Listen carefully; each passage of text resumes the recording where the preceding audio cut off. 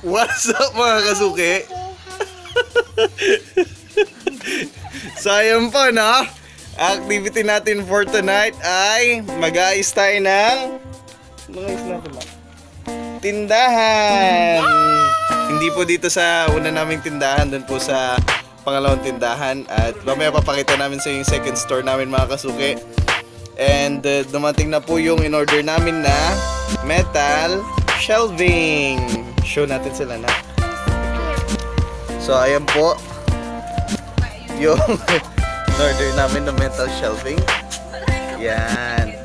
Dadalhin namin yan mamaya dun sa pangalawang store mga kasuki. At mag-ayos po kami doon. So, ayan. Nandito na rin lang po tayo. Bigyan na namin kayo ng quick view nung first store. So, ayan po siya pagkagabi.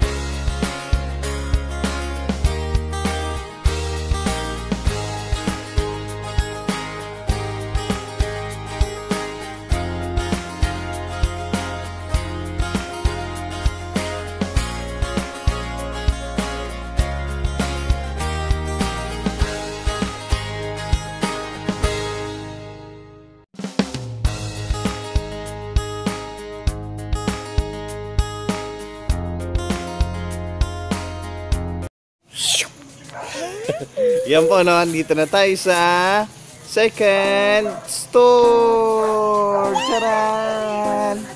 Dito na po tayo sa second store natin mga kasuki. So, ayan. Yan.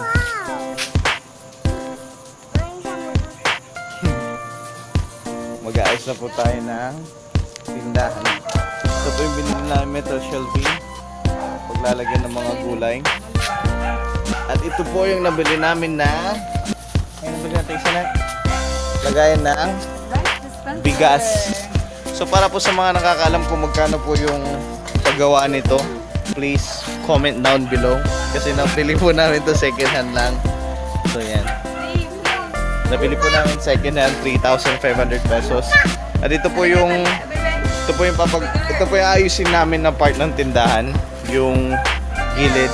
Yan siya. Yan po siya. Yan. Yan.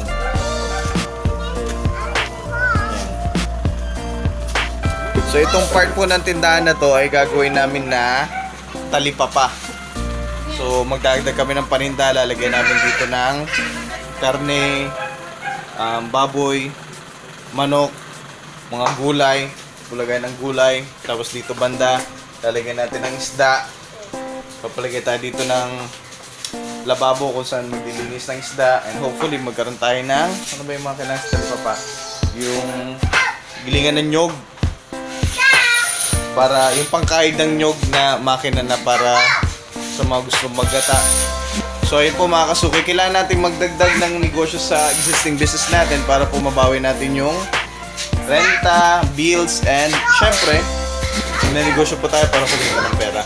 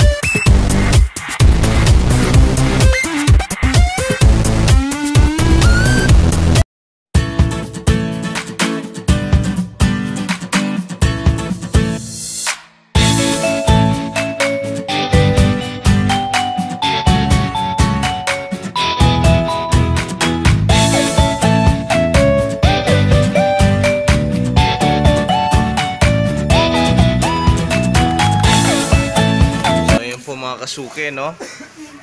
Yan na itsura niya ngayon. Yan. So, still work in progress. Tapos dito, hopefully, pag may budget, pwede natin palagyan ng salamin para magkaroon ng optical illusion na pag pumasok yung tao, akala nila maluwang, pero totoo salamin. Yan. So, yun lang po muna. Bye-bye!